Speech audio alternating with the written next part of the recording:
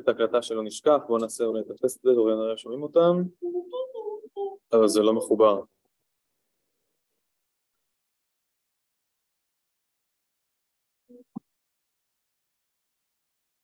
רחם רגע בואו נתחיל את זה. מאוד הקפיץ אותי ה distortion של הרמקול הוא מרשים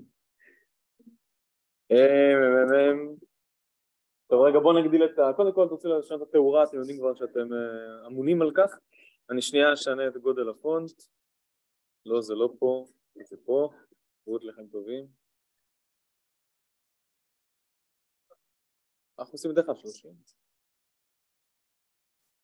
זה יותר קטן, יותר גדול, כמובן אפשר לדבר ונגיע לשם טוב אז מה אני רוצה לעשות היום? דיברתי עם מרים, עם אריאל, כאילו זה קבוצה וואטסאפ, לא ביחד, כן? יש שם והחלטנו שנושא הגרפים אנחנו נתחיל רק בפעם הבאה כלומר התרגול האחרון יהיה על הגרפים ומה? לא הבנתי מה? כן, בסדר חד משמעית, כאילו אני לא לא חשבתי אחרת. בקיצור, אז מה שאני רוצה לעשות היום זה להמשיך עם עיקרון שוב החיונים.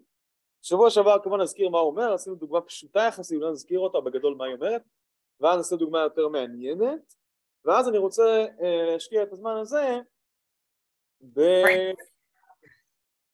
ב...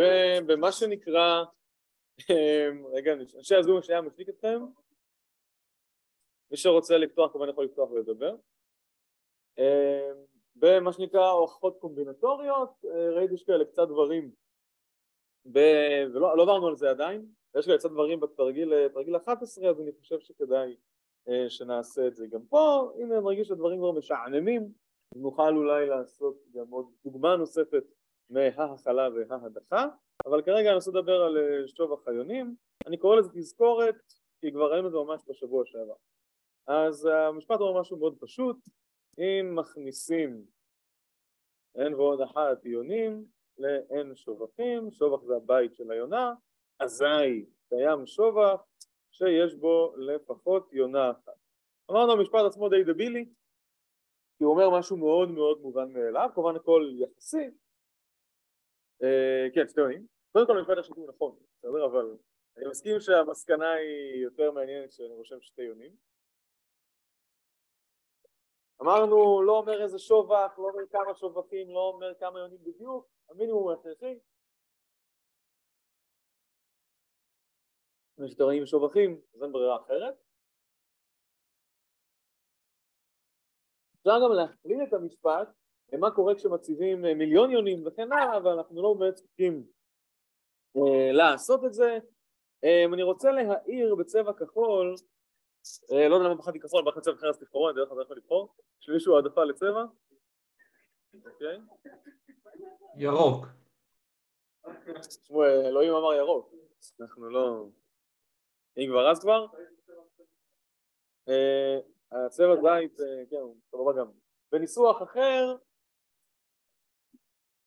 לא קיימת פונקציה חד-חד ערכית מקבוצה עם n איברים n ועוד אחד איברים. לקבוצה עם n איברים. יש יותר איברים בתחום אז שניים ילכו לאותו, לפחות שניים ילכו לאותו אחד בטווח. אז זה בסדר בצבע אחר לא דפוק לנו. עשינו דוגמה שבוע שעבר. דוגמה שעשינו שבוע שעבר. אני לא זוכר את המספר המדויק אני יכול להסתכל בסיכום אני מניח שזה היה 17 בסדר? בכל קבוצה של 18 מספרים טבעיים, תכף זה גם עובד לשלמים, יש אה, שניים כמובן לפחות, עם אותה שארית חלוקה ב-17, במילים אחרות, כמו שהתחלנו בלגימלינרית עם דורון כיף רצח, שקולים מודולו 17.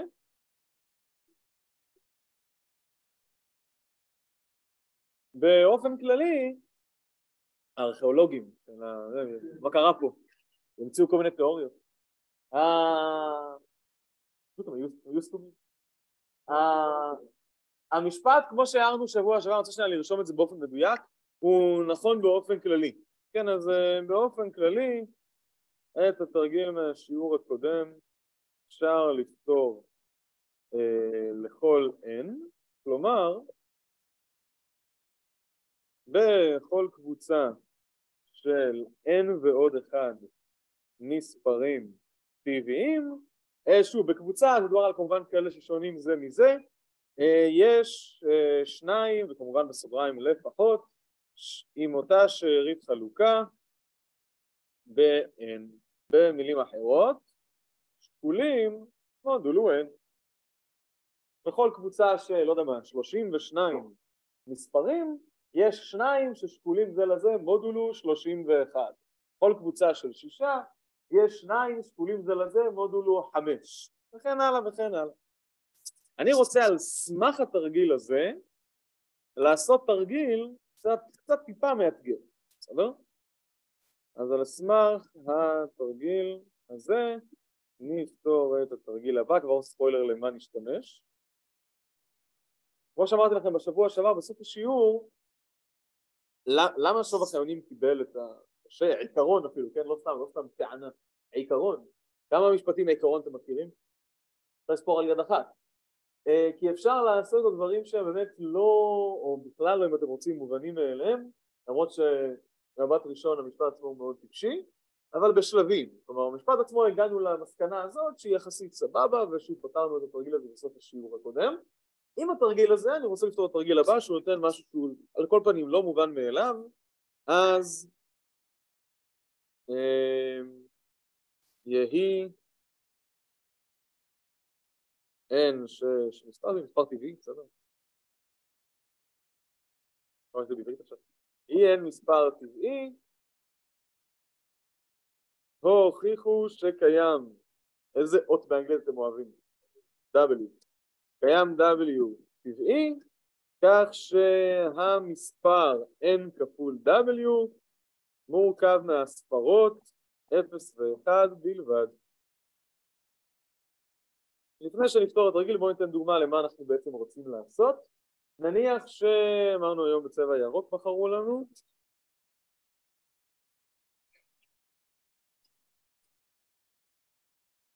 למשל, אני מסתכל על n שווה 5 באיזה מספר w אפשר להכפיל את 5 כדי לקבל מספר שמורכב רק מהספרות 0 ו-1 למשל, 2 אז עבור n שווה 5 המספר W שווה 2 יהיה קיים את הדרוש, כמובן וכמובן שהוא לא המספר היחיד, אפשר 20, 200, 2,000 וכיוצא בזה, אנחנו בעצם מבינים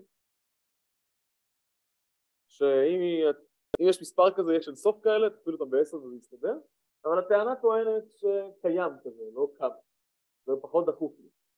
בואו תאמרו לי, מועד רבותיי, קהל קדוש, ילדים חביבים, מה קורה עבור n שווה 6? איזה מספר אני יכול להכפיל בשש כדי לקבל מספר שמורכב אך ורק מהספרות 0 ו-1? לא, מספר טבעי. 60, יש שם 6. רק 0 ו-1. זה יותר בעייתי. שמעתם? עבור n שווה 7? תנו לב, אני טוען שקיים. קצת נחשוב ונמצא אותו. זה מספר מאוד מאוד גדול בוודאות. כמה זה גדול? עשר בחזקת עשר בחזקת עשר? לא. שוב, אני חייב מספר טבעי.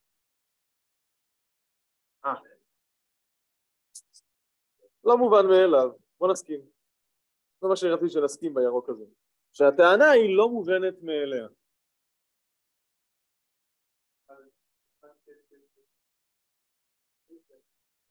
מה? כפול מה? לא יכול להיות, שש כפול שבע יסתיים בשתיים.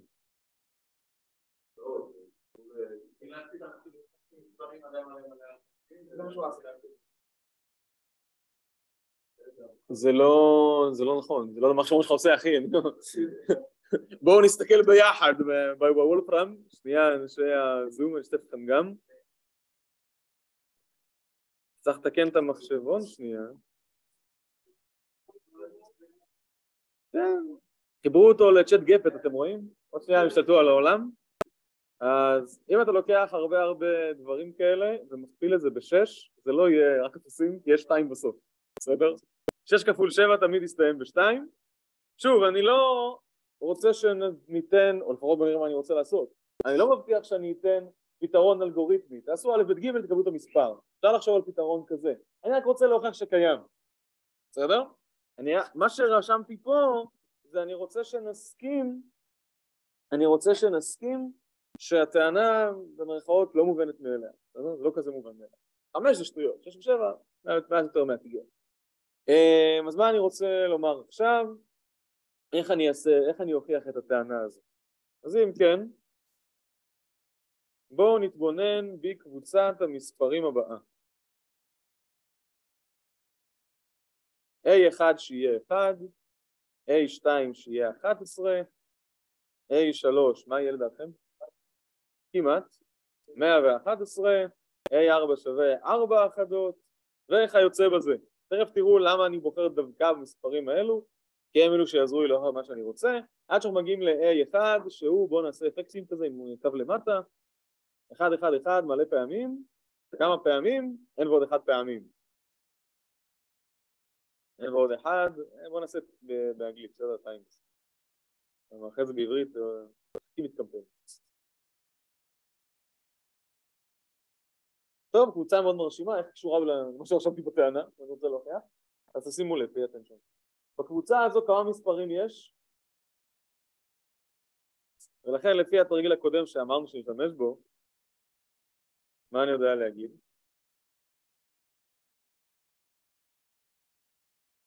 יש לפחות שתיים. לא שש, אלא אין. לפי התרגיל הקודם, והוא באמת לפי שוב החיונים, קיימים שני מספרים מהקבוצה הזו אה, שונים. AI, בואו נקרא להם AJ, כך של-AI ו-AJ אותה שארית חלוקה ב-N, במילים אחרות, במילים עכשיו מתמטיות, AI שקול ל-AJ במודול N.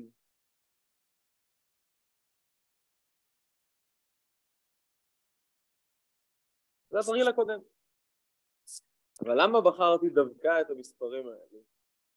כשאני מסתכל על מספרים שקולים זה לזה מודול N, מה שגם הזכרנו בסוף השיעור הקודם, מכירים את זה מהקורס באגווינרית עם דורון. מה זה אומר שהמספרים שקולים מודול N? זה אומר שאם אני מסתכל על ההפרש ביניהם, הוא מתחלק ב-N, נכון? כך N מחלק את ההפרש AI פחות AJ. עכשיו תאמרו לי, מוריי ורבותיי, קהל קדימה. מה זה אומר שמספר מתחלק ב-n? זה אומר שהוא n כפול משהו, נכון? אז מה אנחנו מקבלים פה?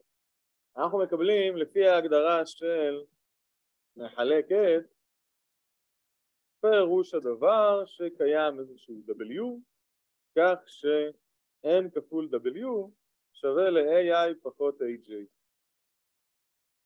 זו ההגדרה. עכשיו הטענה שלי שהמספר AI ו-AJ אכן בנוי רק מאחדות ואפסים. שימו לב, כמו שהבטחתי לפני שלוש דקות, אני לא מסביר איך למצוא את W. נשאלה עליה אחרת, מעניינת לא פחות, והתשובה עליה חזקה אפילו יותר, אם אני מסביר איך למצוא קל וחומר שיש, כן? יש הרבה פעמים טענות של בוא נוכיח שקיים, ולא צריך להסביר איך למצוא אותו, העיקר שקיים. דוגמאות קלאסיות, ראינו אתמול מי שהיה כפרצח בלתי אחד, כל ערך הביניים, כל ההוויה שלו, אז קיימת נקודה, לא יודעים מי זו. יש הרבה טענות שבהן כדי להראות שקיימת, קיים, קיימת משהו, אני אשכרה מסביר איך למצוא אותו. אם דיברנו עכשיו על ליניארית עם דורון כפרצח, לכל מטריצה יש צורה קנונית. מסכימים? לא? מה לעשות? לא עם הכל מסכימים בחיים. ואם את הלקח הזה תלמדו פה, אני את שלי עשיתי. איך יודעים שלכל מטריצה יש צורה קנונית? מי הבטיח? אפשר למצוא אותה. אם יש, הוכחה מה שנקרא כאלף עדים שיש כזאת. פה אני לא עושה את זה, אני לא מסביר אלגוריתמית איך למצוא את W שמתאים ל-6. אם כי בפועל יש כאן משהו בין השיטים שמראה את זה. למה AI פחות AJ ביינו רק מהחדות והאפסים? נניח שמכיוון שהמספרים שניהם שונים, ש-AI גדול מ-AJ, ההוכחה עבור AJ גדול מ-AI דומה.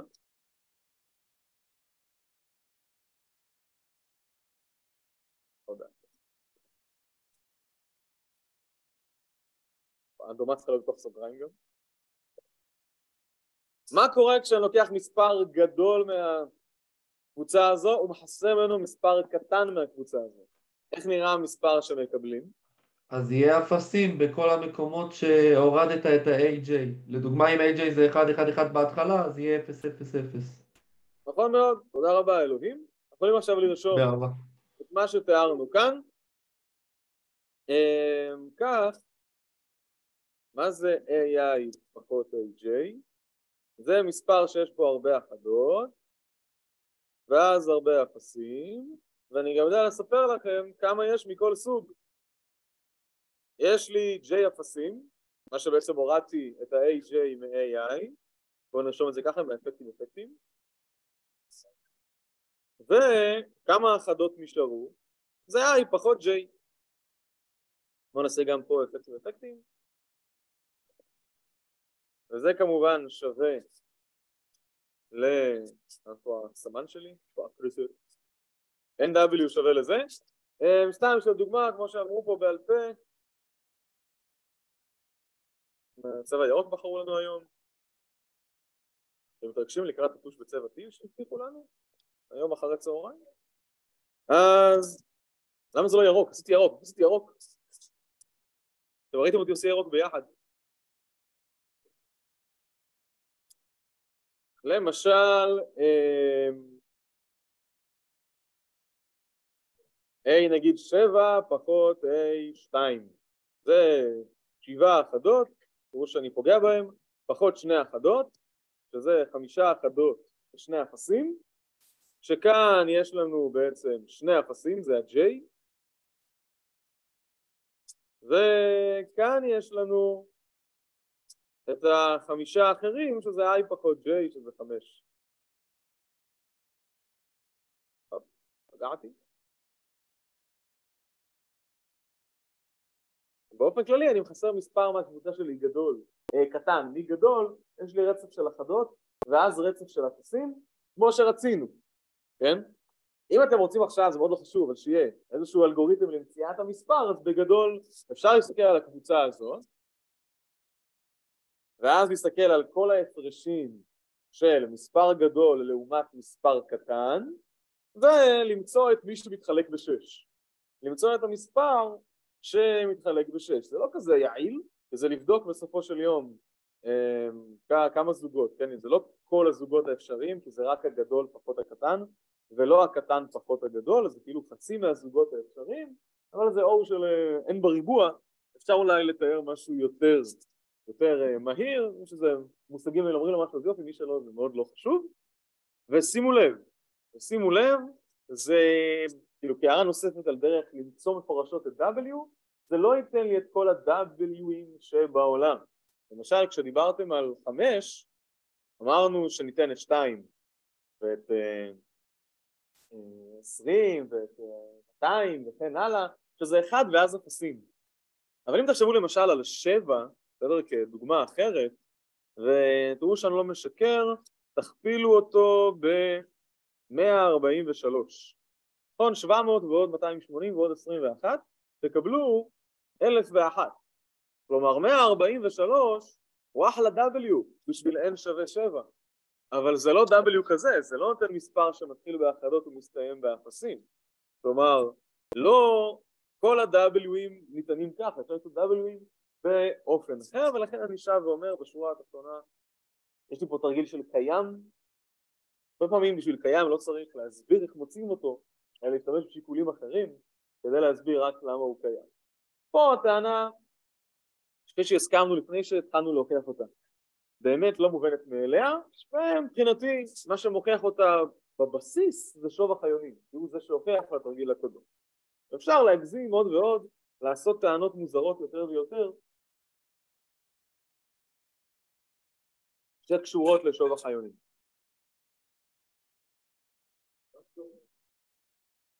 זה לא הוכיח עבור זה, זה הוכיח עבור כל n. כי לכל n אני מסתכל על קבוצה אחרת. ל-n שווה 3 יש כאן ארבעה מספרים, ל-n שווה 6 שבעה מספרים. בכל n ו-n מפעיל את הטענה הקודמת על קבוצה אחרת. לא הבנתי אבל איך עדיין אפשר לדעת רגע, שנייה, יש? קודם כל שאלה מהכיתה? כן?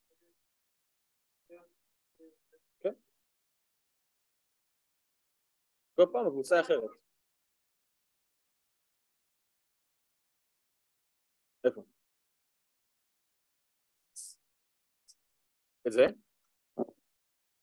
מה ההגדרה של מחלקת, שא' A מחלקת B? וזה מה שהכנתי פה, נכון? זה, אה, שמאל מחלקת ימין, זה אומר ש... זה מה שאני רוצה לאחות, זה מה שתרגיל רוצה להראות, נכון? שקיים W כך שהמספר NW מורכב מהספרות 0 ו-1 בלבד.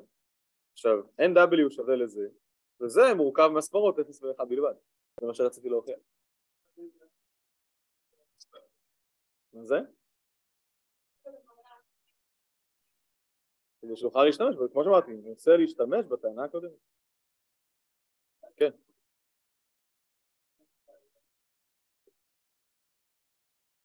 זאת היא ההגדרה של מודולים. כן, כן, אותה שארית חלוקה, בשפה מתמטית זה שקול מודולו, במשמעות מתמטית זה אומר שההפרש מתחלק מהם. זו, זו, גם דיברנו על הנקודה הזו שבוע שעבר, כן? שקולים מודולו n, או אותה שארית חלוקה, זה שההפרש ביניהם מתחלק בהם. זה אותו דבר. אה, שאלות מהזום? כן. אמרת- אה, סליחה. אמרתי שלא הבנתי, עדיין איך עכשיו אני יודע, נגיד עבור n שווה 6, לחשב מי ה-W שלו. אה, אז כמו שהדגשתי כמה פעמים, אנחנו לא תיארנו פה דרך למצוא את ה-W'ים האלה, רק הסברנו למה הוא קיים, זה מה שאתה אמר, לכן אני שב ומדגיש וחוזר ואומר, להוכיח שמשהו הוא קיים זה הרבה פחות מאשכרה למצוא אותו. אנחנו מכירים הרבה משפטים מתמטיים, הרבה טענות, הרבה תרגילים וכיוצא בזה, שרק מבקשים להראות שמשהו קיים, בלי למצוא אותו. לא תיארנו פה דרך אלגוריתמי מסודרת למצוא את W.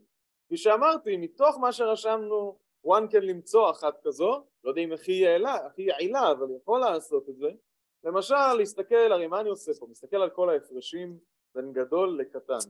להסתכל על כל הזוגות של הפרשים בין גדול לקטן, זה בלי להיכנס למספר מדויק, זו שאלה קומבינטורית, כן? כמה זוגות כאלו אפשר לבנות, אה, והתשובה היא n בריבוע פחות n חלקי 2 או משהו כזה, ולבדוק אותם אחד אחד, מי בסוף הכפולה שלו מתחלקת בשש.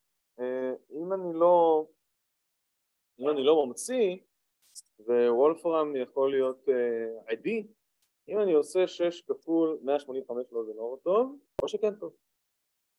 רמה גבוהה. 6 כפול 185 נותן לי 1110, שזה מספר מהסגנון הזה. איך הייתי מגיע אליו אם הייתי ממש מתעקש למצוא אלגוריתם ולמצוא את ה-W הזה? הייתי אומר בוא נסתכל שוב על כל הזוגות ואז נגלה ש... 1110, 1111 פחות 1 זה 1110 זה כפולה של 6 אבל זה לא שוב, עוד פעם, עוד פעם, עוד פעם, זה לא מה שהתרגיל רצה. מאוד מאוד חשוב לשים אלה לעשות מה שביקשו מאיתנו ולא מה שלא ביקשו אה, מכמה סיבות, הסיבה פה המרכזית היא שזה יותר קשה. חבל לעשות דברים יותר קשים. זה הוואטסאפ, נכון זה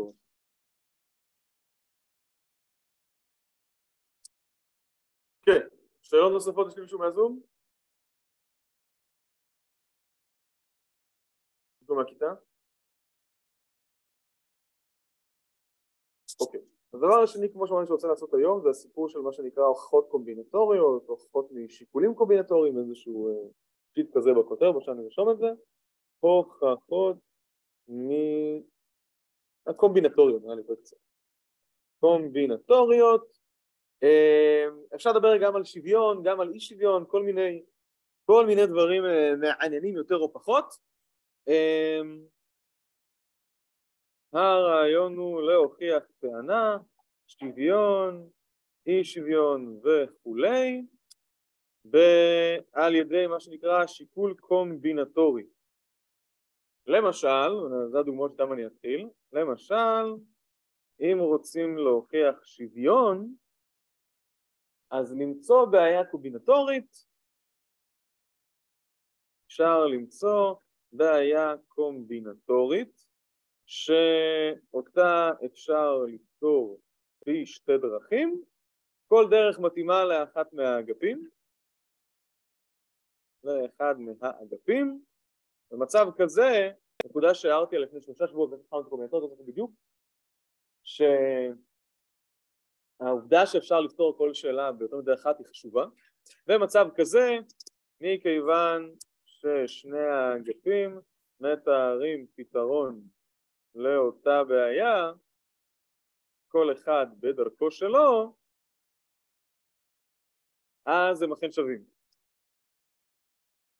סתם בשביל הדוגמה, כי זה, מה שרשום פה מאוד מאוד מקסים, באמת.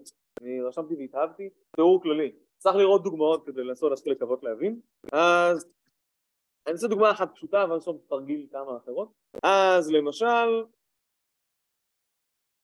בואו נתבונן בדוגמה הבאה, המקדם הבינומי של n מעל k שווה לחבר שלו n מעל n פחות k.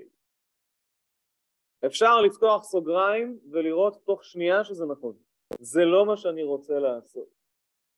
אה, כי בדוגמאות הבאות זה יהיה יותר קשה עד כדי בלתי אפשרי.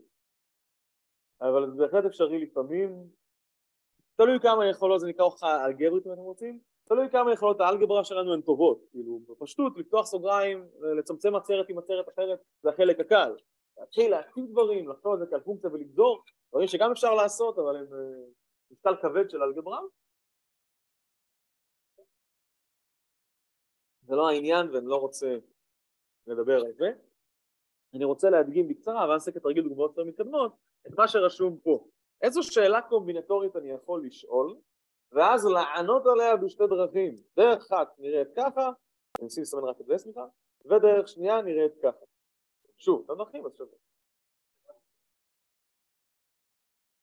בואו תספרו לי סיפור, אבל לא עכשיו צריך משהו, היו היה, אבל אה, משהו פשוט. אז, אז, אז אתם הולכים אל הצד השמאלי, כן? כבר הלך לימני. יותר צעד לפניהם. הבחירה הזאת היא קלאסית. בואו נספר סיפור, רוצה לבחור אה, קבוצה של קייס סטודנטים ולהוציא להורג. אין לי כוח לכם, די, חלאס. חשבתי שאני אחזיק עד סוף הסמסטר, לא קרה. אז עכשיו אני מספר סיפור, מה זה משנה מה הסיפור. הכללי הוא ה-N וה-K, לא, לא הפרטים הטכניים, מסביב. אז אני יכול לעשות את הדבר הבא, אני יכול לבחור K להוציא להורג, זה מה שבצד שמאל. בוחר קבוצה, לא יכול להוציא להורג בן אדם פעמיים, עדיין לא, אה, ו... ולא לא חשוב מי יצא להורג ככה שהם מתו, וכמו שאמרו פה יפה, דרך אחרת לחשוב על זה, זה בוא נבחר מי יישארו בחיים. או נעשה את זה מעניין, מי יהיו המוציאים להורג, כן, אני מחלק את הקבוצה לשניים, מי יוצאו להורג ומי יוציאו להורג. אבל השורה התחתונה היא אותו דבר, כל בחירה של קייס סטודנטים שיוצאו להורג שקולה לבחירה של מי שלא יוצאו. זה לפתור את אותה הבעיה בשתי דרכים שונות. מכיוון שזו אותה בעיה, האגפים בהכרח שווים, לא רק לפתור בעיה, לקבל תשובות שונות. אז... אז שוב, זה לא בדיוק משלים, כשאני אומר משלים אני סופר את כל האופציות הלא טובות, פה אני סופר, סופר את אותן האופציות בדרך אחרת, כן? אז נתבונן למשל בבעיה הקומבינטורית הבאה המרצה בכיתה, בכיתה של אין סטודנטים פסיק, המרצה בוחר אה, סטודנטים להוציא להורד, שאר אין פחות K הסטודנטים יהיו המוציאים להורד. זה יותר מעניין. דרך אחת לעשות זאת, צד אחד, זו בחירה של קבוצה ולכן בפשטות זה n מעל k יודעים אוטומט מבחינת הקורס, קבוצה איזה אובייקט מתמטי שאין בו חזרה ואין בו חשיבות לסדר. מצד שני, אפשר לחשוב על הבעיה, נראה לי פה הבט, באופן הבא. המרצה בוחר מי יוציאו להורג. מי הם ה-n מינוס k שיהיו התליינים, whatever, יוציאו להורג, וכך, אם אתם רוצים, אוטומטית נבחרים ה-k שלא ימשיכו איתנו, ואת זה אפשר לעשות ב-n מעל n פחות k דרכים.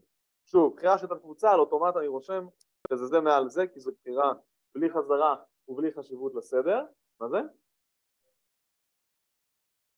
לבלי חזרה ובלי חשיבות לסדר. כן, זה, זה הנוסחה שלו. מכיוון שזה מתאר את אותה הבעיה, אבל בדרכים שונות, מכיוון שאלו תשובות של אותה שאלה, נסיק שוואלה באמת, מדובר בשוויון. עכשיו, אה, אתם נמצאים בעצם, החלפנו תפקידים, אתם היינו צריכים לשאול את השאלה. להסביר למה זה מתאים לתשובות. בדרך כלל אתם מקבלים את השאלה כתובה, ואז אתם עונים.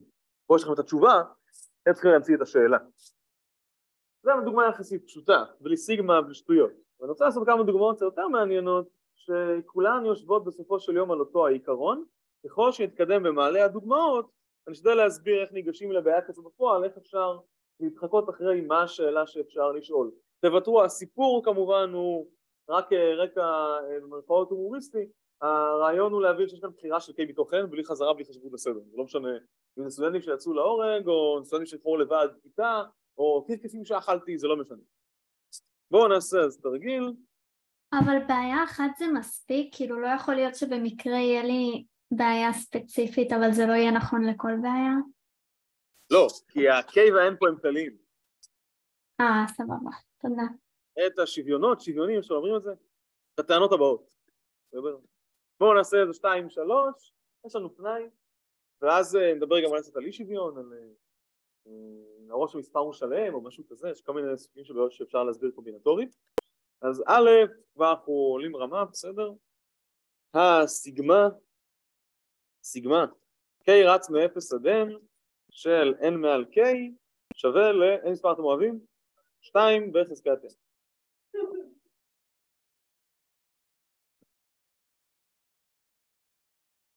אז הרעיון הוא כפי שאמרנו למצוא בעיה שמתארת, אפשר לפתור אותה בשתי דרכים, דרך אחת חוק המפתיע זה אגף ימין, דרך שנייה יו, זה אגף שמאל.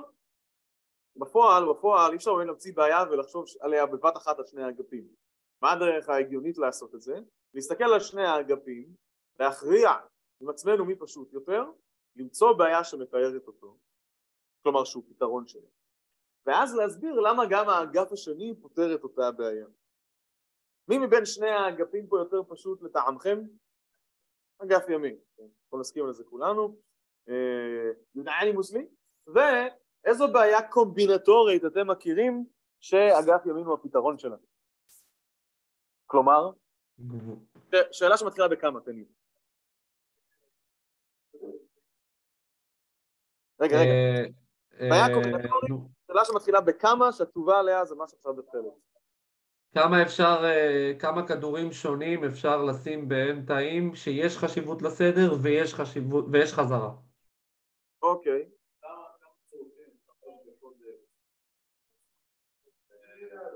אוקיי, צירופים בינאריים, כדורים בתאים, הדברים בסך הכל נכונים, אבל תנסו, תנסו לקחת את עצמכם למקום הפשוט והמוכר, הוא תמיד אנחנו אומרים, אם כבר עשינו, אם כבר עשינו דברים, חבל לא לעשות אותם שוב. כמה, מה את רוצה לומר? תני לי את זה. תני לי את מה שאני רוצה. כמה תתי קבוצות. אה... אה ליצור מילים דברים. בדיוק. כמה תתי קבוצות. זה ראינו בעבר. אני מאוד נוסטלגי. אני אוהב את העבר, אבל ככה זה עובד. שוב, לעבוד קשה כל תרגיל מחדש זה חבל. דרך אגב לא מצליח. אז אני רושם בצבע אחר את ה... בתרגיל הראשון עם מצב בשר, אני קצת אעיר באריכות על מה אני מתעתד לעשות בכל פעם, אחרי זה נעשה את זה יותר דברים. אמ, אז בגדול, נוח להסתכל על האגף הפשוט יותר, להמציא בעיה שהוא תשובה שלה, ואז להסביר למה גם האגף השני עונה על אותה בעיה. מן הסתם בדרך אחרת, כן?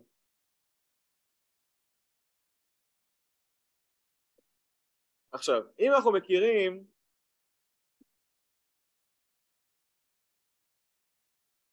אה, אם אנחנו כבר מכירים, כבר, אה, בעיה שהאגף הוא תשובה שלה, שהביטוי באחד האגפים הוא תשובה שלה, כמו כמה קבוצות, איזה קבוצות יש, אז מה טוב, נשתמש בה. אם לא, אני כבר אעיר אחרי שנסתכל על מה קורה באגף שמאל. אז בואו נתבונן בבעיה הבאה.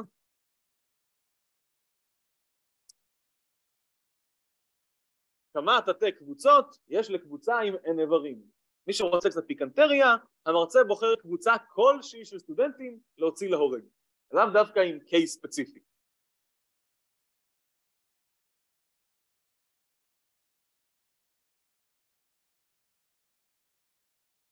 מצד אחד, אנחנו יודעים ש-2 בחזקת n.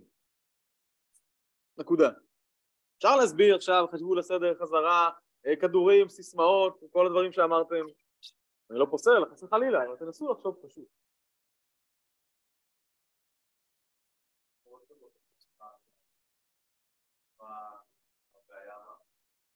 לא.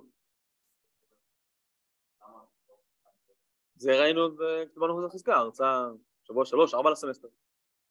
שתיים בחזקת תן, תתי קבוצות. כן, כמה תתי קבוצות? זו השאלה שאנחנו שואלים.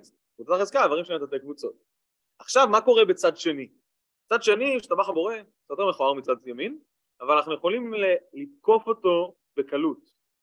יש לנו כמה עקרונות קומבינטוריים, קראנו להם הבסיסיים ואז המתקדמים, אם נחשוב עליהם באופן שנייה חסר השיפוטיות, אנחנו נדע די בקלות איך אגף שמאל מתאר את זה. מה יש לנו באגף שמאל? אז כעת המטרה היא להסביר למה האגף השני, או איך, לא למה, איך האגף השני פותר את אותה הבעיה. הרעיון פה הוא להסתכל, לפרוט אותו, אם אתם רוצים אה, לפרוטות קומבינטוריות. לומר לעצמנו מה אנחנו יודעים על סכום, על מכפלה, על חזקה, על עצרת וכולי בשפה הקומבינטורית. למשל במקרה שלנו, כבר נרשום את זה מפורשות כחלק מהפתרון, מדובר בסכום. מה אמרנו פה לפני איזה שלושה שבועות כשיש סכום? מה זה אומר על אופי הפתרון של הבעיה? אני מחלק למקרים שונים. זוכרים את זה? אמרנו את זה פה? בפסק זמן? לקראת המבחן תזכרו? זה מה שחשוב. סכום מתאר חלוקה למקרים שונים. n מעל k, כמו שגם ראינו מקודם, מתאר בחירה ללא חזרה וללא חשיבות לסדר. שזה בדיוק קבוצה. בחירה של תת, קבוצה, בדיוק. בואו ניקח את זה. יש לי פה בחירה של תתי קבוצות מגודל K וחלוקה למקרים. K הוא 0, 1 ו-2. הפתרון מונח לי מול העיניים. אני בעצם מחלק למקרים. בואו נבחר קבוצה מגודל 0 ונבחר קבוצה מגודל 1 ונבחר קבוצה מגודל 2 וכן הלאה וכן הלאה עד שאני מגיע ל-N. שוב, אני זוכר את העקרונות הקומבינטוריים, את השפה הקומבינטורית מאחורי הסימונים המתמטיים, סכום זה מקרים, בבחירה כזאת זה קבוצה, ומעט דברים נוספים. מה זה? נכון, יש N מעל K, אפשרויות כאלה. ועכשיו, מצד שני, אם בא לכם, אז לא, לא מזיק בכלל, מדי פעם לרשום סיגמאות, במפורש במרכאות, יעני עם שלוש נקודות באמצע,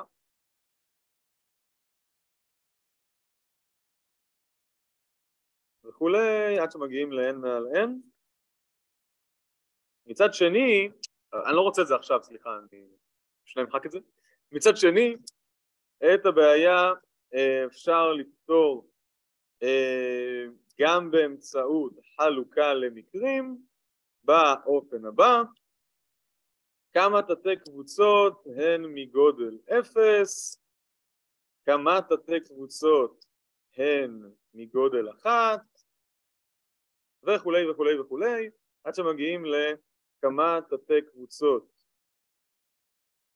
הן מגודל K, אה, מגודל N, סליחה, זה האחרון. אז, לפי מה שהסברנו,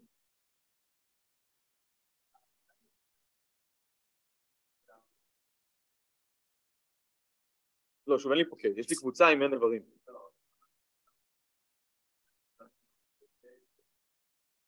זה תמיד, זה נכון תמיד.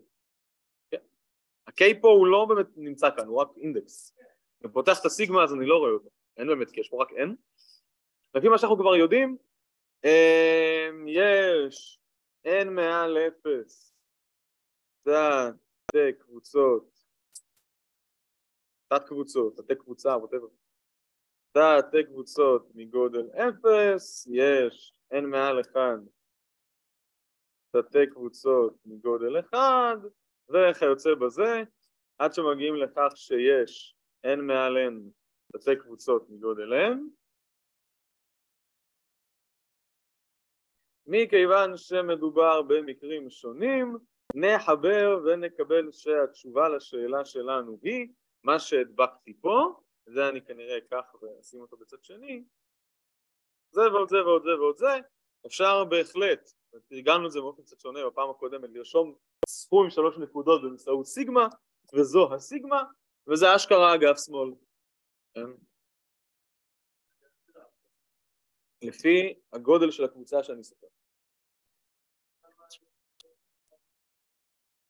כי אם זה לא מקרים שונים, אני צריך להוריד את החיתוך ביניהם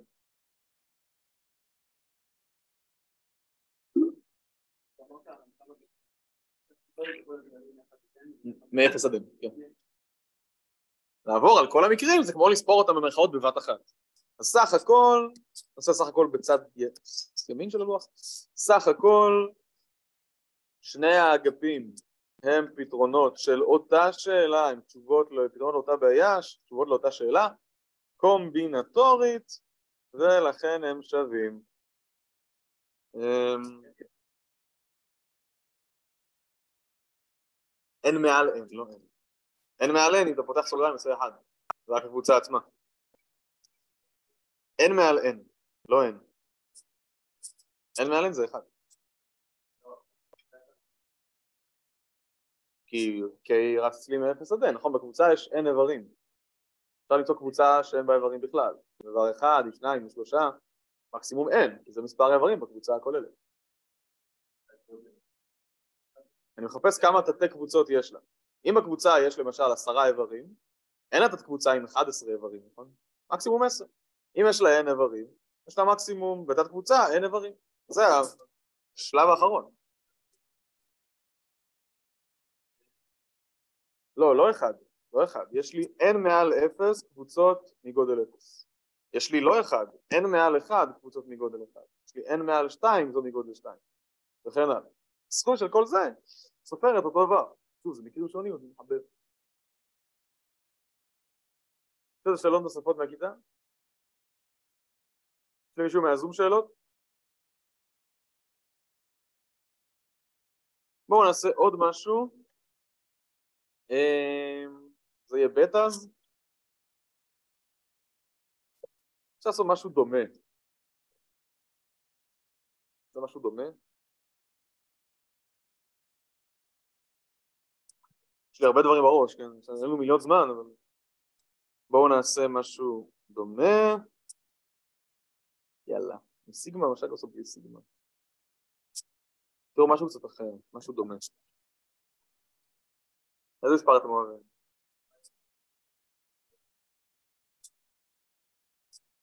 שש. אה, כבר אמור. כן. זה גם היה צפוי, יודע.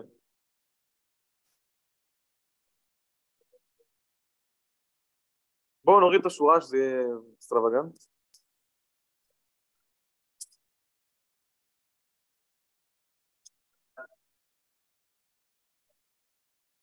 מה האגף הפשוט יותר, מוריי ורבותיי?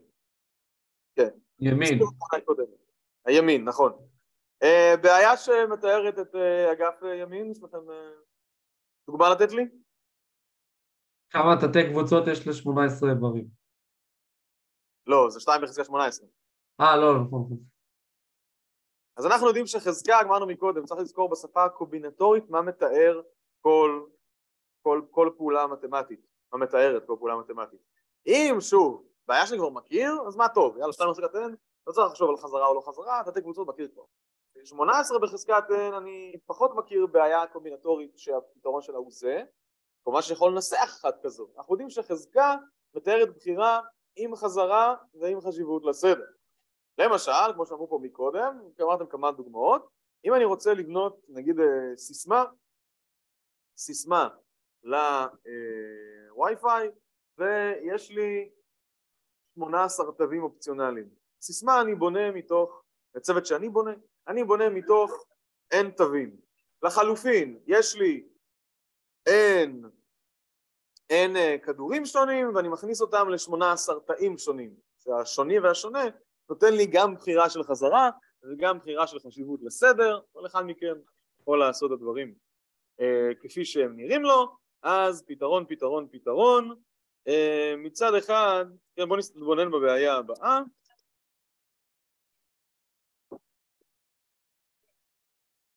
כן. כן, זה סתם אותיות אבל, כן. אפשר לקרוא מה שרוצים, נכון? אה, בואו נסתכל בבעיה הבאה.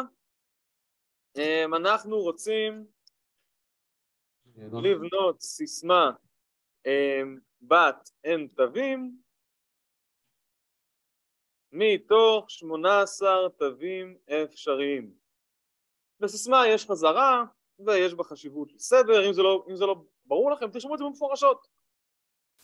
בסיסמה מותר לחזור על אותו התו יותר מפעם אחת ויש חשיבות לסדר בו התווים רשומים כהרגלן של סיסמאות, כמו שאמרנו לפני שבועיים ושלושה הרבה פעמים יש הנחה סמויה שאנחנו מסכימים משהו על המציאות בשאלות הקומבינטוריות. למשל שבסיסמה יש חזרה ויש חשיבות לסדר ואמרנו אם לא ברור כן ברור. פה אנחנו אלו שמנסחים אנחנו אלו שמנסחים את הבעיה אז אם אנחנו רוצים לוודא לעצמנו שזו הבחירה שאנחנו רוצים שהבעיה תתאר נאמר את זה בעברית. כן בסדרה יש חזרה וכן יש חשיבות לסדר. אז כך מצד אחד עכשיו נשאל את השאלה הזאת. כמה סיסמאות כאלו אפשר לבנות? אז מצד אחד, 18 בחזקת n, ממש בנינו את הבעיה. אלעד, זה נראה לי הפוך, זה נראה לי 18 תווים מתוך n אפשרויות, לא? כי זה כאילו n בחזקת k, אז האפשרויות הן n. מה אחי? לא הבנתי נראה לי זה, זה לא כאילו 18 תווים מתוך n אפשרויות ואז n בחזקת k וכאילו ה-k הוא n. כאילו 18 בחזקת n, 18 תווים. לא, לא, שוב. נניח, נניח שאני רוצה לבחור אה, סיסמה עם שני תווים.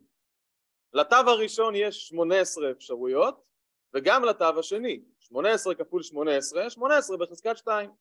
נניח שאני רוצה סיסמה עם שלושה תווים, 18 כפול 18 כפול 18, 18 בחזקת 3. האפשרויות זה הבסיס, ומספר הפעמים שאני בוחר זה המעריך. אה, אוקיי. מצד אחד 18 בחזקת n, שוב, בחירה קלאסית שלנו. אם חזרנו חיוב לסדר, אם ממש יש לנו את זה פה, אז אני לא אשמור את זה שוב פעם. עכשיו השאלה היא מה קורה בצד שני. אז יש פה, יש פה סכום. נכון? סכום, בסכום הזה כבר יש מכפלה. אז קודם כל אנחנו צריכים לחלק למקרים. כמו התרגיל הקודם, כי זה מה שסטיגמה עושה כשמדובר בקומבינטוריקה. וחוץ מזה, בכל מקרה ומקרה יש לי מכפלה. אנחנו יודעים, כמו שאמרנו פה לפני אה, כשבועיים שלושה כפרצח, שכשמדובר במכפלה, אנחנו מסתכלים על איזושהי חלוקה של אותה בחירה לחלקים, או אם תרצו לשלבים שונים. אז אני צריך לחלק למקרים, איכשהו K רץ עד N כמו התרגיל הקודם, אבל עכשיו בכל מקרה אני גם צריך לחלק את הבחירה לאיזה שהם שני שלבים. קודם כל לעשות משהו כזה, שמתואר על ידי בחירה של K מתוך N, ואז בשלב השני, שיתואר על ידי בחירה של 17 בחזקת K. שנייה, אני ארשום את זה, אמרתי שאני לא ארחיב את דיבור בסעיפים הבאים, אבל שיהיה בכל זאת. כל מה שאני אומר פה צריך לעשות בזמן אמת בראש, אפשר לרשום בטיוטה, אבל חרם.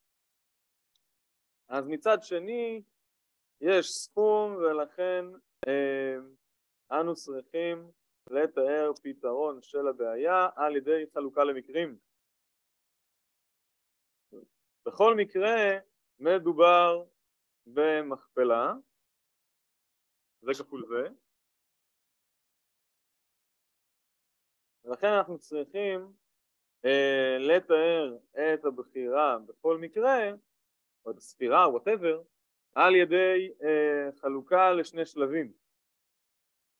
שלב אחד שבו בוחרים K מתוך N בלי חזרה ובלי חשיבות לסדר, ושלב שני שבו בוחרים K מתוך 17 עם חזרה ועם חשיבות לסדר.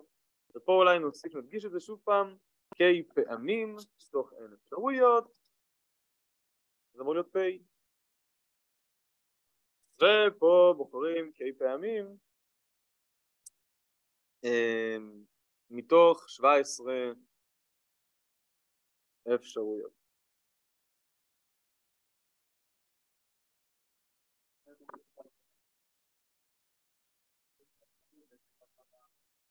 Hmm. אז רואים פה משהו, משהו שנשמע בכיוון הנכון, הרי ה-17 אני גם יכול להשוות אותו לעומת ה-18 והוא אחד פחות, אפשר לעשות תאר את המקרה הבא. בואו נבחר איפה ממקמים תו אחד, ואז נמקם את השאר.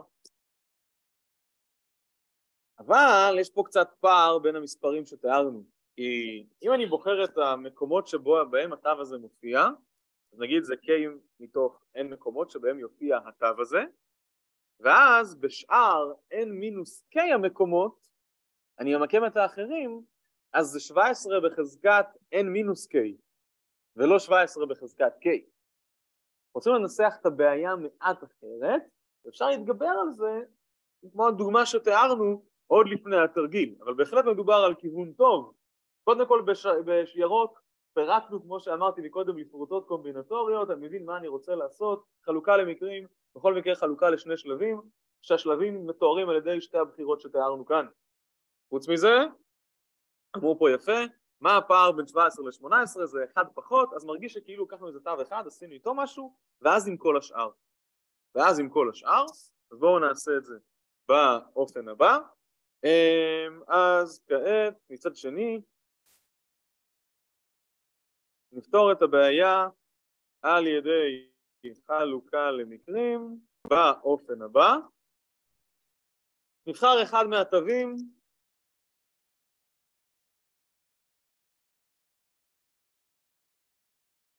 אה, בואו, איזה תו בא לכם? לא יודע, קרא לו X נגיד? ו... אה,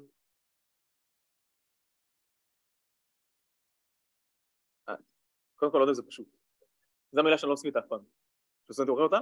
ב', אני לא רואה סיבה, אני יודע שסיגמה מתארת סכום. גם, גם מקודם, לא פתחתי את הסיגמה תוך כדי הצגת הפתרון, אלא הסיגמה עלתה מתוך הפתרון. זה אותו מקרה. אני, אני לא פותח את הסיגמה, אני פותר את הבעיה ואז אני מקבל פתרון שנראה כמו הסיגמה.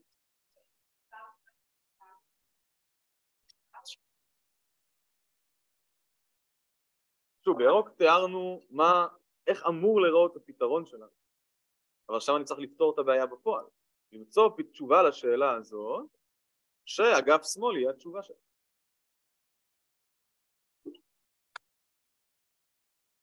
אז עכשיו זה שחור. אז מצד שני אני פותר חלוקה למקרים. שוב למה חלוקה למקרים? בגלל הסיגמה. אני בוחר אחד מהתווים, למה דווקא אחד? אמרו פה יפה. 17 לעומת 18, אז כאילו אחד בצד. ונחלק למקרים הבאים.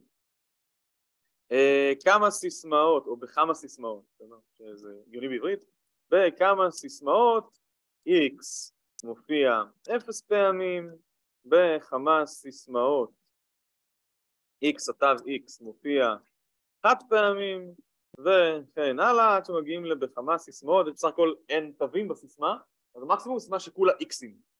מאוד קל לפרוץ אותה אבל היא עדיין אפשרית בהגבלות שלנו, וכמה סיסמאות מופיע ה-x שלנו, ננסח את זה אחרת, x מופיע, כמו שהיה רשום גם קודם, x מופיע n פעמים. כן.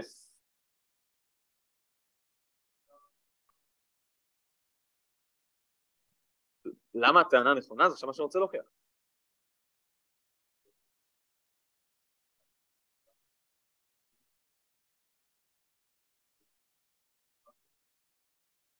אז זה מה שאנחנו רואים עכשיו.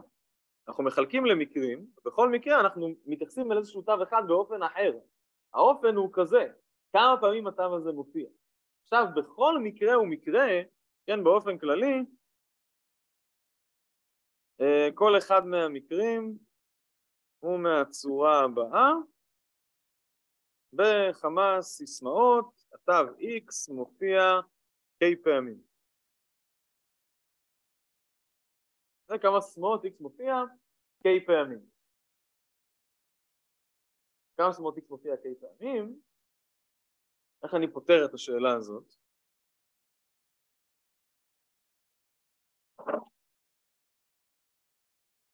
אפשר לפתור בשני שלבים.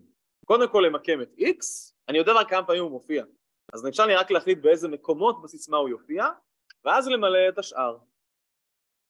עכשיו, אם אני אבחר את המקומות ש-x מופיע בהם זה n מעל k, וכמו שאמרתי מקודם, השאר יהיה 17 בחזקת n פחות k, זה השאר.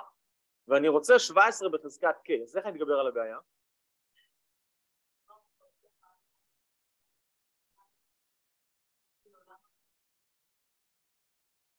שבע עשרה זה לא, זה לא הפעמים שאני בוחר, זה מספר אפשרויות שמתוכן אני בוחר. אני לא חייב לבחור את כולן, נכון?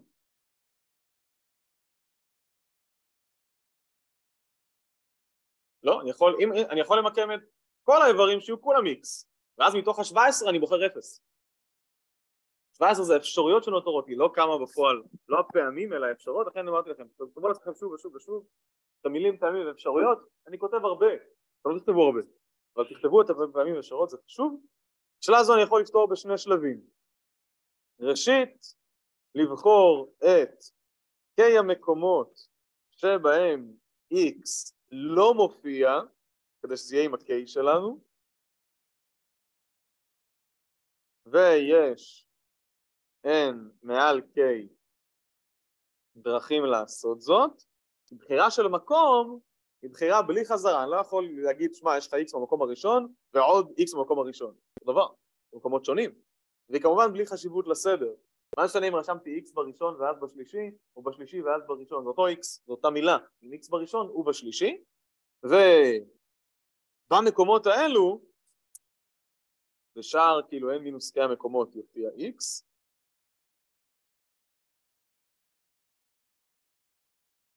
שנית, ב-K המקומות האלו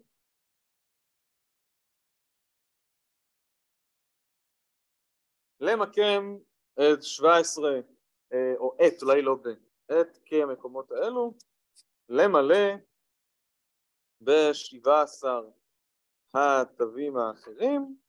על זה אין הגבלה, אפשר לעשות את זה ב-17 בחזקת K דרכים. כפי שכבר אמרנו, מדובר בבחירה עם חזרה ועם חשיבות לסדר. אני יכול לבחור אותו מספר מלא פעמים, אפשר לעשות, בחרתי אחד שיש פעם אחד. ולכן יש 17 בחזקת K דרכים לעשות זאת. לפי עיקרון המכפלה, לכן, לפי עיקרון המכפלה, יש n מעל k כפול 17 בחזקת k סיסמאות שבהן x מופיע בדיוק k פעמים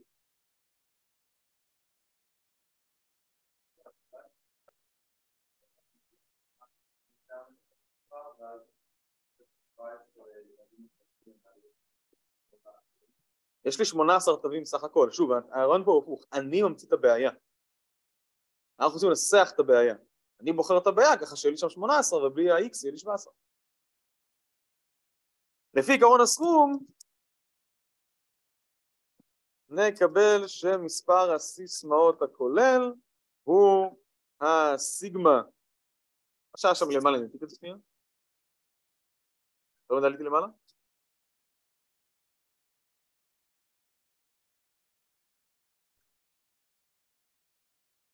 שני האגפים מתארים את...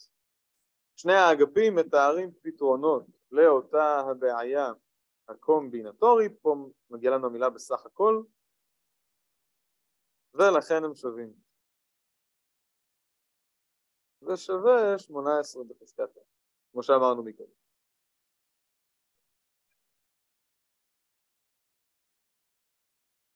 אני רוצה לחלק למקרים. כמו שמקודם חלקתי למקרים, כמה, כמה איברים בקבוצה, עכשיו מחלק למקרים. כמה פעמים תו X מופיע בסיסמה? בהנחה שהוא מופיע K פעמים, כמה סיסמאות כאלו יש? אז על השאלה הזו אני עונה בשני שלבים. קודם כל באילו מקומות ה-X לא מופיע, זה אין מעל K מקומות, ואז בתוך המקומות האלה אני צריך למקם מתוך ה-17 התווים האחרים, של 17 בחזקת K. כי אם הוא מופיע, אם אני רוצה אה, סיסמה, אה, בעברית, אני הבנתי עכשיו את השאלה, בעברית אני עשיתי הפוך, נכון? מופיע K פעמים, אבל פה בחרתי את זה שהוא לא מופיע, כן?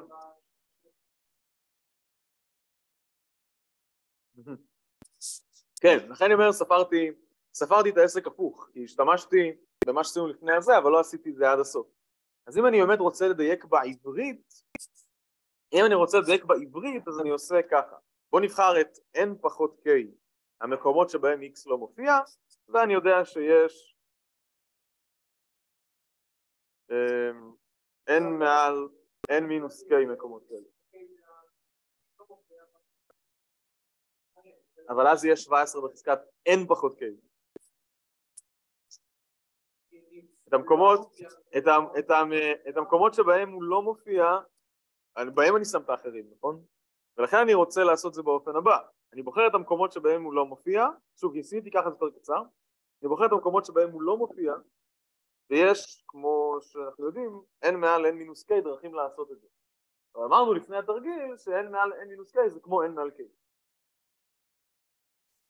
אני יכול להחליף הפוך, אבל אז יהיה לי 17 בחזקת n פחות k, 17 בחזקת n פחות k, להסביר איך הוא מקביל ל-17 בחזקת k זה יותר קשה.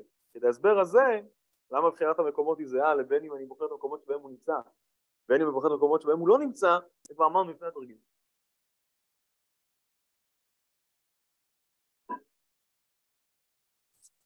אני ממציא סיפור אחד, שצד ימין הוא תשובה שלו באופן מיידי, ככל הניתן, אם על שני אגפים סיגמה זה משהו אחר, כן? ואז אני מנסה להסביר למה גם אגף שמאל פותר את אותה הבעיה, כלומר נצליח לפתור, למצוא דרך אחרת לפתור את הבעיה שלי. לא, זה לא קומבינטורי.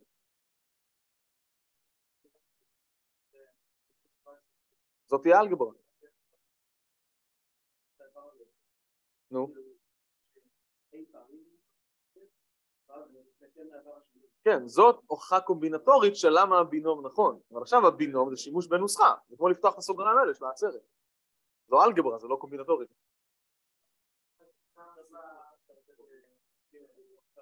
כן, כן, אני מאמין ככה גם כשאני מלמד בבינום בהרצאה, ככה אני גם מוכיח אותו, הוכחה קומבינטורית, זה הכי נוח. אפשר אינדוקציה למשל אם רוצים, אבל זה לא, לא כדאי. אבל עכשיו, אחרי שהוכחתי את הנכונות של נוסחת הבינום, כשמה כן היא נוסחה. זה כמו לפתוח את הנוסחה הזו לפי העצרת. זה לא הוכחה קומבינטורית. לא לספר סיפור ששני האגפים פותרים. שאלות נוספות בכיתה, כן.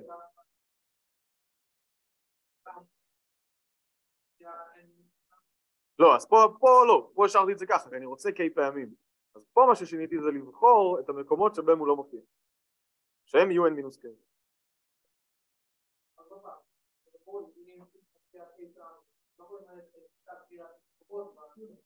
נכון, אני ממלא את n... אה, הבנתי מה אתה אומר. אוף, זה מעצבן. שנייה, אני הופך את זה. בורא פרי, control Z. אני הופך את זה. בכמה סיסמאות X מופיע n מינוס K פעמים. כדי לפגוע בדיוק בבעיה. זה עוד השלבים, אני מוכן X לא מופיע ובלה בלה בלה.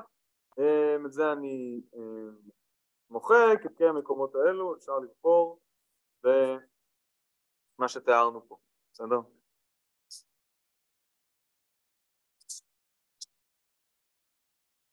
אני רוצה באמת שה-17 יישאר עם ה-K, אז שה-X מסכן הוא זה שיעבוד עם ה-M פחות K. אמ, מה שאני רוצה לומר זה שאפשר לשאול שאלות כאלה, בא לי גם עוד, עוד שאלה עם שוויון, אבל אפשר לדבר גם על אי שוויון, לדבר גם על איזושהי טענה מסגנון מעט אחר. אמ, אז אני מתלבט מה בא לי לעשות. כן, עם הבינום של ניוטון. אבל אה, לא, לא, לא תמיד יש, בסדר? אז אני לא, לא רוצה להבטיח דברים.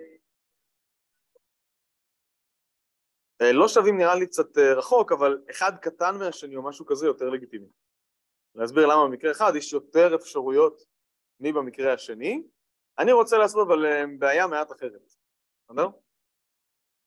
אז תראו, סגנון מעט אחר של בעיות. פתרון לבעיה קומבינטורית הוא תמיד מספר שלם אי שלילי, נכון? בדרך כלל התשובה היא לא אפס, בדרך כלל הוא טבעי. אז כך אפשר אה, להוכיח שמספרים מסוימים, שביטויים מסוימים הם מספרים אה, שלמים או אפילו טבעיים הם מספרים טבעיים על ידי זה שהם מוצאים בעיה קומבינטורית שהם, שהמספר הוא תשובה שלה. שהביטוי הוא תשובה שלה. נעשה את זה ביחיד ולא ברבים, שביטוי מסוים הוא מספר טבעי, כל פעם ברבים. סתם תורו את התרגיל הבא, מספר שוב לא... זה למשל, אתם כאילו תרשמו אותו, זה סתם של הדוגמה הפשוטה, אבל נעשה דוגמה פשוטה ונעשה את התרגיל. למשל, אני יודע בוודאות בנקר בהרכב שהמספר n עצרת חלקי k עצרת כפול n פחות k עצרת הוא מספר שלם. זה לא כזה מובן מאליו, הרי יש פה מכנה. גם אחרי שאני מצמצם n עצרת עם k עצרת או עם n פחות k עצרת, נשאר לי עדיין מכנה. למה המספר הזה שלם? כי איזו בעיה קומבינטורית הוא פותר? מה אתם אומרים? נכון, אז אנחנו יודעים ש... אמרנו, כדאי לזכור את הסימון. רגלם של סימונים, אם הופכים לחזות הכל אנחנו בבעיה, מאחוריהם ידע מתמטי. ואנו יודעים שזהו פתרון לבעיה קומבינטורית, למשל תת קבוצה או וואטאבר, ולכן באמת מספר שלם, ושוב, תכלס מספר טבעי. יכול להיות שהוא יוצא אפס, פה זה גם לא קורה. אז עכשיו אני רוצה לעשות תרגיל, מספר קצת יותר מאתגר, להראות שהוא שלם, אז יהי, יהי זה תמיד טוב, אין מספר טבעי, הוכיחו שמספר הבא הוא שלם, אני רוצה לעשות, נראה לי זה, שני n עצרת, חלקי שתיים בחזקת n כפול n עצרת. נראה לי שזה מה שאני רוצה.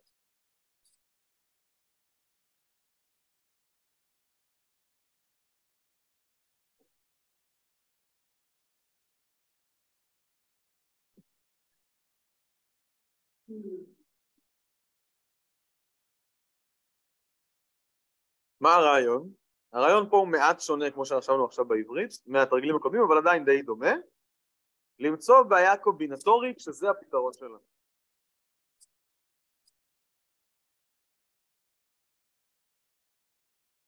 אז אנחנו צריכים כמו שאמרנו מקודם להתקדם צעד צעד מה מתאר כל דבר ודבר בשפה הקומבינטורית?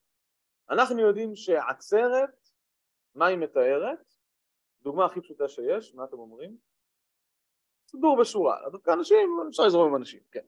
אז עצרת מתארת סידור בשורה, שוב שמעתי בצבע אחר, זה לא חייב הפתרון באמת. אתם צריכים לומר את זה לעצמכם כדי לדעת שצריך לפתור. אז בשפה הקומבינטורית, עצרת מתארת סידור בשורה, או לפחות סידור במקומות מובחנים. לא במעגל, מה שהזכרנו, הזכרנו את זה. אבל אה, אפשר גם, נגיד בכיסאות פה בכיתה, זה אותו דבר כמו בשורה, זה שהם לא בשורה אה, ברמה הפיזית לא אומר שאי אפשר לחשוב על זה ככה. אה, בשורה, או לפחות בסדר מובחן, כזה או אחר, שורה דוגמה קלאסית, לא חייבים.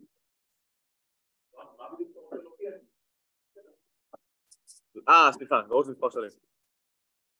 ותכל'ס גם טבעי, כן? כי הכל פה חיובי.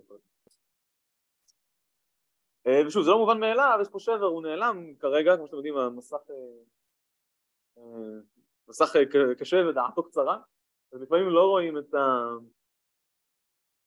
הקווי שבר.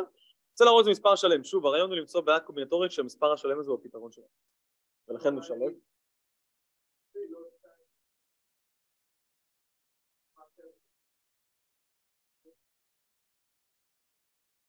נו. אבל אז יש פה מנה. הבעיה היא בשבר. אה, אינדוקציה אפשר לנסות. אינדוקציה נשמעת משהו שבהחלט יכול לעבוד. ואני לא רוצה להבטיח. ושוב, המטרה היא לעשות את זה קומבינטורית. אז, אז אני לא רוצה לנכס, אני לא רוצה להבטיח על שאלות שתהיינה ומה יהיה סגנונן, אבל הרבה פעמים במבחן השאלות הן, כן, בשני, של, בשתי רמות. א', בדרך כלל אי אפשר אחרת, אה, או שקשה מאוד, ב', הרבה פעמים משהו רשום, תפתרו בו קומבינטורית. אה, להוכיח את זה מתמטית ואינדוקציה, נראה לי משהו שאמור לעבוד. את זה בראש, נשמע טוב.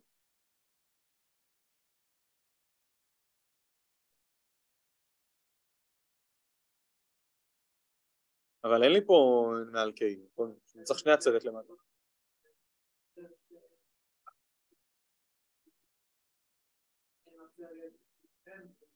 זהו, אז מה מתאר את החלוקה? למה פה מחלקים?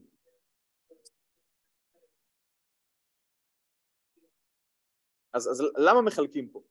פה, בתכלת. מתי, זו, שוב, בשפה הקומבינטורית, מה שאנחנו מכירים אה, לאורך שבועיים שלושה כבר, למה מחלקים פה? כי יש פחות אפשרויות, כי אין חזרה... למה, למה לא מורידים? למה יש כאן מנה? מה זה אומר שמחלקים במנה, ואם די יותר, מה זה אומר שמחלקים בעצרת? מה הפער בין הדבר הזה לבין בחירה ש... אני רושם אותה לידה שנייה, לבחירה שיש בה חשיבות לסדר, שהיא כזאת. חלוקה פנימית. למה כאן מחלקים בכי עצרת וכאן לא? בשפה הקומבינטורית, חלוקה פנימית, חשיבות לסדר. הפוך, אם חשיבות לסדר יש יותר אפשרויות. הרעיון בפשטות, אני רוצה לומר את זה בפשטות, עצרת סידור בשורה. למה מחלקים בעצרת? כשמחלקים בעצרת זה כשעוברים ממצב שבו יש חשיבות לסדר למצב שבו אין חשיבות לסדר. אם למשל, אם למשל אני רוצה לסדר שלושה אנשים שונים בשורה, יש לי שלוש עצרת דרכים לעשות את זה. ואם אני רוצה לסדר שלושה כדורים זהים, יש לי רק דרך אחת, לשים שלושה כדורים, הם זהים, אין ביניהם הבדל. בשלוש עצרת אופציות אני מחלק בשלוש עצרת כדי לקבל את האחד הזה. כשמחלקים בעצרת, פירוש הדבר שעוברים ממצב שבו יש חשיבות לסדר למצב שבו אין חשיבות לסדר.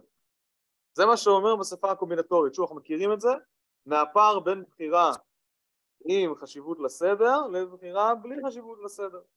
כשאני רושם את זה ככה, כשמחלקים בעצרת, פירוש הדבר שאין חשיבות לסדר. וביתר דיוק, אה, עוברים, אם אתם רוצים במרכאות, ממצב שיש בו חשיבות לסדר למצב שאין בו. במקרה שלנו, אנחנו לכאורה רוצים אה, לסדר שני n דברים בשורה, דברים שונים זה מזה, כמו אנשים למשל.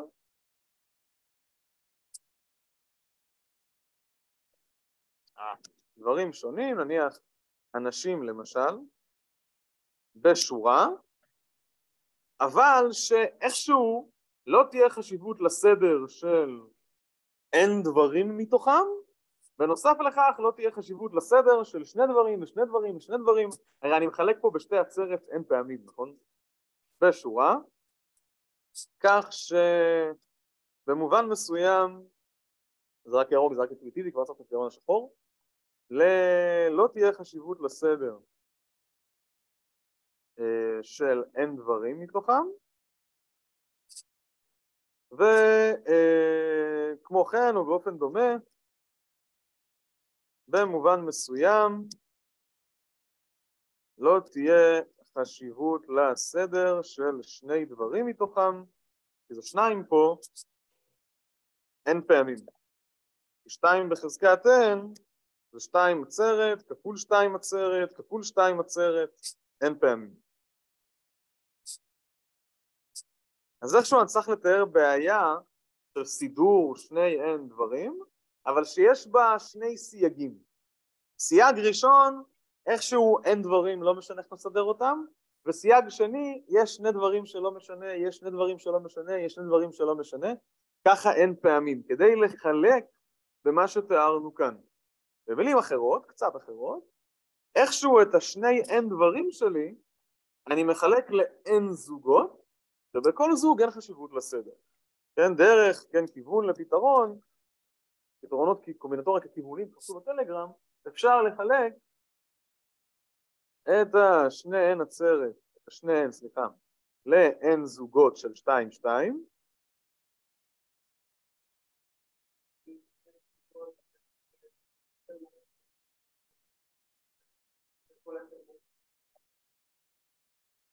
ומה אנחנו עושים?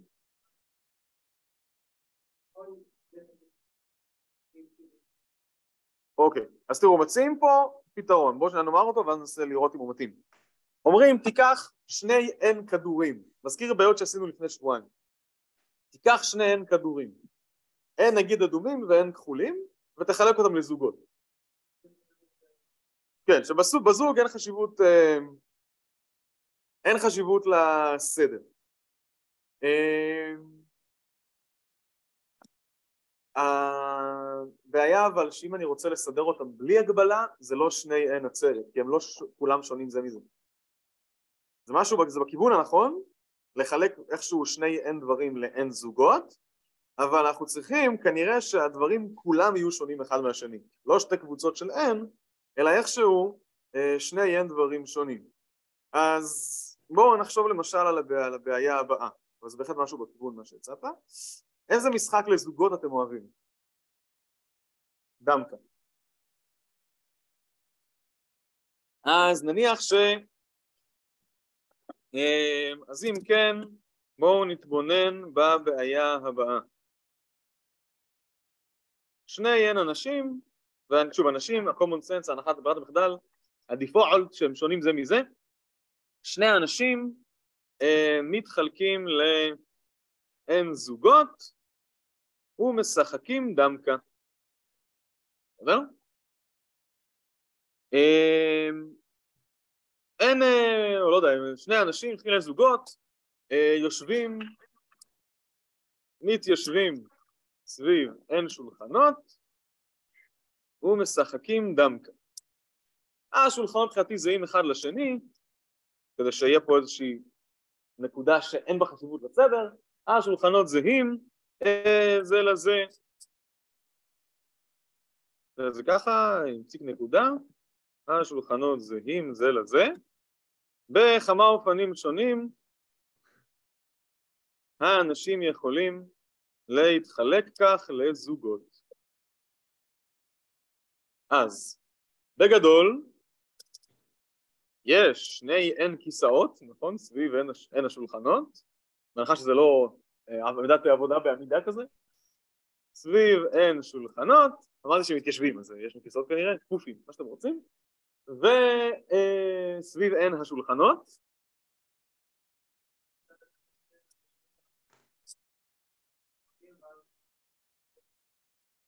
בדיוק, ואנחנו כאילו מסדרים את האנשים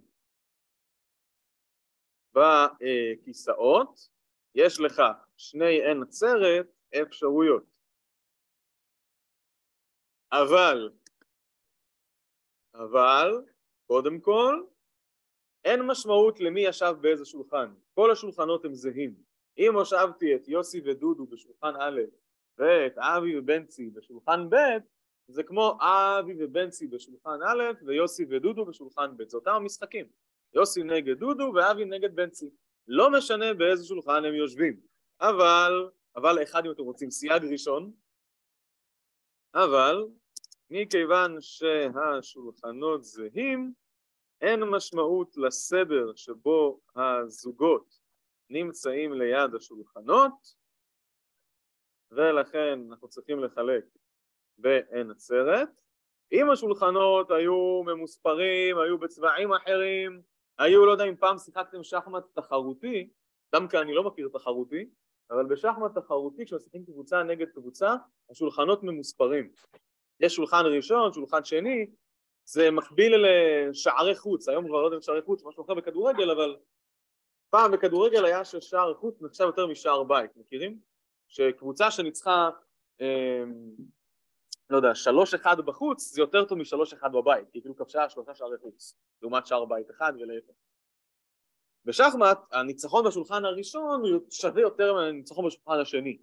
לא בנקודות, שניהם ניצחון זה אחד, תיקו זה חצי, הפסד זה אפס, אבל אם יש קבוצה שניצחה בשולחן הראשון ובשני, והקבוצה השנייה ניצחה את השולחן השלישי והרביעי, אף על פי שהתוצאה היא 2-2, הקבוצה שניצחה בראשון תיקח את, הנ... תיקח את הניצחון כולו, כי זה כאילו הפרש כמו הפרש שערים בכדורגל. ודווקא, א', אני לא מכיר, ב', שוב, אנחנו בוחרים בשאלות האלה איך לנסח את הבעיה, זאת אומרת, את הבעיה ככה שהשולחנות הם זהים, לא משנה איך תסדרו את הזוגות מול השולחנות, אין פה באמת חשיבות לסדר, אז כל העין עצרת הזה צריך לחלק פה, אבל נוסף, כן, אבל שתיים, בכל זוג וזוג אין חשיבות לסדר, מבחינתנו אין פה באמת בית וחוץ, יוסי נגד דודו, או דודו יוסי, זה אותו משחק. מה זה משנה באיזה צד של השולחן הם התיישבו?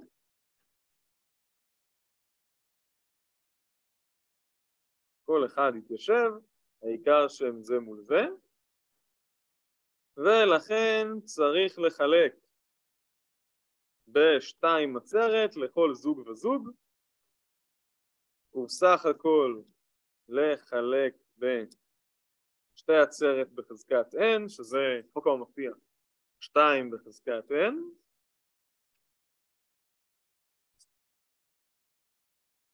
סך הכל נקבל שהתשובה לשאלה שלנו היא אה, הביטוי שתיארנו למעלה, מוזמנים לבדוק את זה בעצמכם עם מספרים קצת קטנים, נגיד n שווה 2, n שווה 3, לראות שזה אכן מתקמפל לנו בראש. מכיוון, שוב, מכיוון ומכיוון שזה פתרון לבעיה קומבינטורית, מדובר במספר שלם אי שלילי, אין לי חצי אופן, אין לי מינוס שני אופנים, כמו שאמרנו מקודם, פתרון לבעיה קומבינטורית, תמיד מספר שלם אי שלילי, שוב יש שם קו שבר שהמקרין מסרב להקרין. רצו טיפה יותר, רצו טבעי ולא שלם אי שלילי, כלומר נותר להסביר למה זה לא אפס, אבל ברור שיש דרך לסדר אותם כלשהו, אה, מכיוון שבוודאי שיש דרכים, ולו רק אחת, לסדר כך את האנשים, זהו מספר חיובי, וסך הכל באמת מדובר במספר טבעי. כן.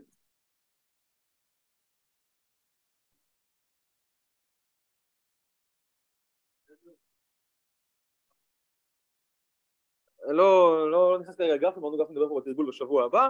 בגרף עם אין קודקודים לא מכוון יש n מעל 2, זה בלי חזרה בכלל, זה בלי חשיבות לסדר בכלל. פה יש חשיבות מסוימת לסדר, כן, לכן העצרת במונה.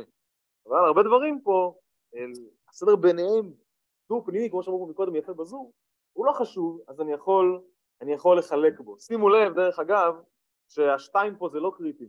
נניח שאני משחק, מחלק 4N שחקנים ל-N משחקים של ברידג', לא יודע, שזה ארבעה כאילו, על ארבעה, או לשחק 100 קבוצות, 10-10 למשחקים של, לא יודע, טאקי, קטן, ווטאבר. אפשר באופן כללי, כן, באופן דומה, אפשר להוכיח שמין מספר כזה, K כפול N עצרת, כאילו K במקום 2, חלקי K בחזקת N כפול N עצרת, הוא מספר שלם, אה, לכל K ולכל N ולא רק ל-K שווה 2. אה, אותו השיקול ששקלנו פה, במקום חלוקה לזוגות, חלוקה לשלשות, רביעיות, חמישיות, K-איות באופן כללי, שאין בהן חשיבות לסדר בפני עצמן ולא אחת עם השנייה.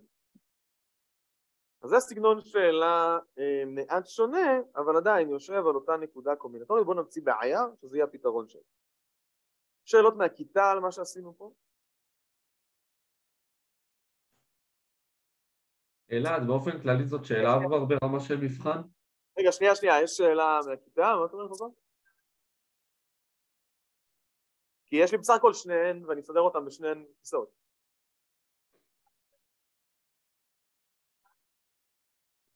לא, לא, יש לי שניים כאילו יד כל שולחן. אין שולחנות שונים. מה אתה אומר מהזום? באופן כללי, כאילו, סתם לסבר לי את האוזן, באופן כללי זו כבר שאלה ברמה של מבחן. כן, כן, בוודאי, בוודאי. גם השאלה הקודמת, אני חושב, זאתי... אם הייתה במבחן אז לא מתלוננים, בסדר? אבל לא רוצה להגיד שזה קל מדי. אבל לא, מה, שתי הזאתי שעשינו, זאת קודמת, בהחלט. שאלה במבחן, לגיטימית. לא יודע מה מבנה המבחן, זה אריאל צריך לספר לכם. אה, כמה שהוא יפרט אה, כן ייטע, אבל כמובן זו זכותו. אה, שוב, אין הרבה מבחנים משנים קודמות, אבל הנושא הזה של קומבינטוריקה הופיע במבחנים של בדידה 2, יש מגוון בדרייב, תסתכלו ותראו שיש שאלות כאלה. שוב, לא יודע, לא יודע אם ספציפית את השאלה הזאת, אבל להוכיח דברים קומבינטורית, בהחלט דברים שמופיעים. מי כותב את, המכת... את המבחן? אה, אני מניח שאריאל, זה תפקידו של מרצה. אה, עדי יצא לך של ידיי, לא, לא אמורה לעבוד שהיא בחופש. אה, אני אישית, כולה צריכים כלל החיים, בסדר? כולה צריכים כלל החיים זה חשוב. שיעור לחיים, תלמדו את זה, זה חשוב.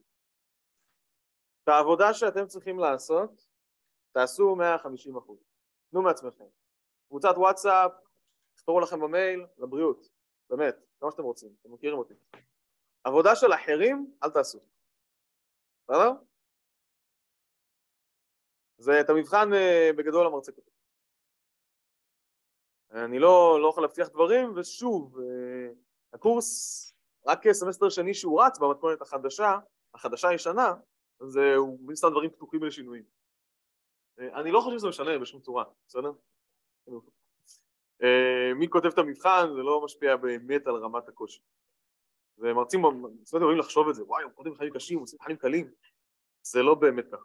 אתה יודע, יש לכם ניסיון של שנתיים שלוש, אתם הולכים לעשות אה, ארגזים בהייטקס, אני פה אה, מספר דו ספרתי של שנים, זה לא, לא באמת משנה מי כותב.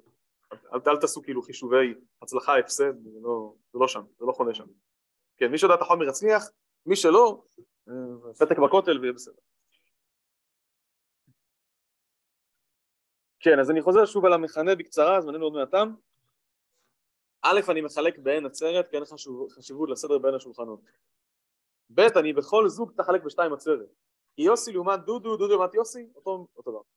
כל אחד מהם זה שתיים עצרת, אין פעמים. זה שתיים בחזקת אין סך הכל. אה, כאן זה קי עצרת, סליחה, נכון? זה לא קי. אם זה עובד לקי עצרת, כמה נכון שזה עובד לקי, אז בואו נשאיר אותו דבר, אבל אפשר להגיד אפילו יותר, אפשר כאילו לחלק אפילו בקיי עצרת זה עדיין מסתדר. אה, יש למישהו שאלות נוספות מהזום? כן. לפני שאנחנו מסיימים? כן. במקום לרשום את השתיים עצרת כפול אה, במכנה כאילו שזה שווה שתיים n אפשר לרשום כאילו n כפול, אה בעצם רגע, n כפול שתיים עצרת? לא, זה לא אותו דבר. זה לא כפול, כי הרי זה, זה, זה המספר כפול עצמו, זה חזקה, זה לא חיבור. זה שתיים עצרת בחזקת n, לא כפול n. אז כן, זה שתיים עצרת בחזקת n, אז לא רשמת שתיים בחזקת n. שתיים עצרת זה שתיים, נכון? אה, סבבה. וככה גם הטענה את השאלת המנוסחת, אני מנסה לשמור על הניסוח המקורי, כאילו. סבבה. שאלות נוספות יש למישהו מהזום? טוב, שמור אצלכם אנשי הזום תהיו לי בריאים, הכל קשור להיפגש בשבוע הבא. זה שבוע האחרון בעצם, נכון? אז רק שנחיה עד אז.